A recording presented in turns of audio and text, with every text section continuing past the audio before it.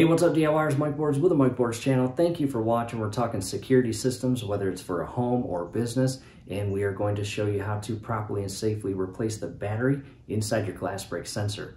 Right way to do this, wrong way to do this. If you do it wrong, you might get yourself in trouble. Let's do it the right way. Let's get started.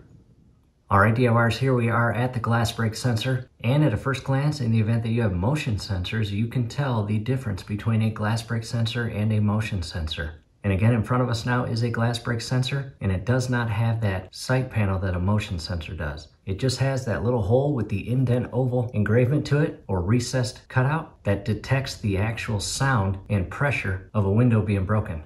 However, again, we are going to show you the proper and safe way to replace your battery in your glass break sensor. And coming to the very bottom portion of the sensor, you have a little slot and the slot itself is actually machine cut into the base that is secured tight with screws to the wall. In other words, the outer cap or cover of your sensor does not have that recessed slot cutout. And what you want to do is grab a flathead screwdriver and I recommend grabbing a thick flathead screwdriver. In other words, not a very fine tip or thin flathead screwdriver. That could actually lead to stripping that slot and scraping your sensor and that's not what you want. Or in our case, that's not what we want. So again, grab a flathead screwdriver with more of a thicker tip or cut to it. And we did just that. Here is our Craftsman flathead screwdriver again with a thicker tip and I applied electrical tape around the actual tip. And that will be personal preference. The reason I did that is to add just a little layer of cushion as well as grip to the tip of the screwdriver. And that's going to do two things. Number one, again, it is going to give me more cushion when I insert the screwdriver in that little slot and separate the cap from the base. In other words, it's going to decrease the possibility of damaging that little slot cutout on the plastic base itself. And in addition, the added grip with the tape is going to alleviate the actual screwdriver from slipping out and scraping the entire sensor or casing. And that's not what we want either. So again, I just apply that electrical tape to the tip for those two added benefits. And from here, I'm going to carefully bring the screwdriver in and line up the tip of the screwdriver inside that little slot. Once you get it inside that little slot, continue to apply upward pressure from the bottom portion of your screwdriver and simultaneously turn the screwdriver to the right. And these little caps are held on tight. You will hear it pop off and you may even hear our security system begin to sound.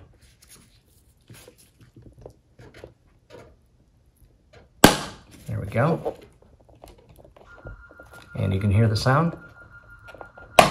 There we go. And I'm going to carefully pivot the cover up and as you can see, there's the battery. I will lower that down. I will go cancel the alarm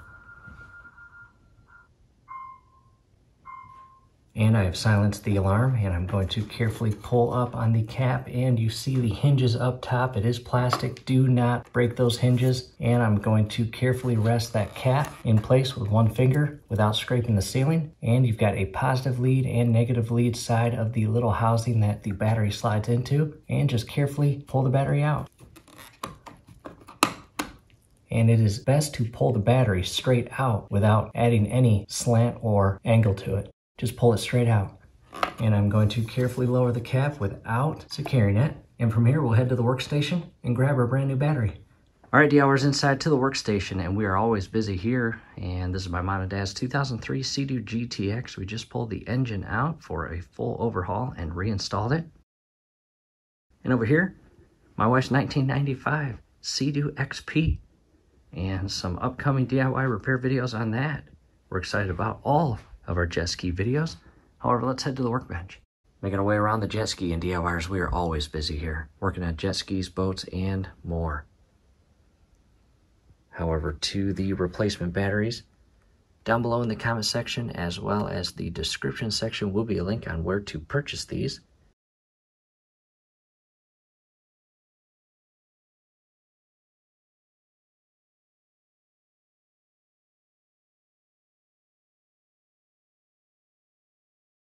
All right, DIYers, back to the glass break sensor, and here is our brand new battery. We went with Duracell, and again, it is a CR123 lithium battery. And we are going to carefully lift the cap up and prop it up with our finger, and again, positive lead on bottom, negative on top, and simultaneously push the battery into that housing in a straight manner.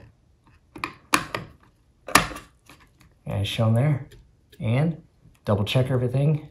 It's a good time to clean the inner portion of your sensor in the event that it is dusty, full of cobwebs, or if you see any bugs in there, get those out of there. And from here, carefully lower your cover down and one finger on either side of the bottom portion of the cap and push until it clicks and is locked in place as shown there.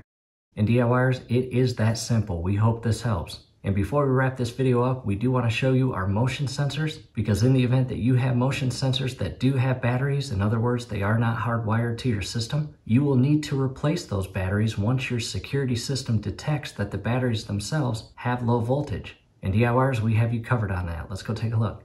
And here we are to the motion sensor that does require a battery, or in other words, has a battery inside that needs to be replaced once the system detects that it has low voltage. And if your sensor does look like this, it is very likely that it is battery operated and not hardwired, and will require replacing the battery. And DIYers, for your help and convenience, scrolling above right now is a link to a video that shows you the proper and safe way to replace your battery on your motion sensor that looks like this. So definitely check that out. We hope to see you there. From here, we hope this video helps. Do us a favor, below the video, you will see that thumbs up icon. Click on that, like the video, subscribe to the channel. Definitely ring your YouTube bell. That would be very helpful to us. We'd really appreciate it. Thanks again for watching.